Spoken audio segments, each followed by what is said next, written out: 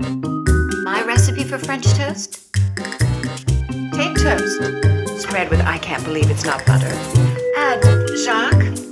He's French. Oui. We like. Now, 4 out of 5 butter lovers agree that I Can't Believe It's Not Butter tastes as good as fresh butter with 70% less saturated fat and 30% fewer calories than butter. Now you can have it all. I Can't Believe It's Not Butter.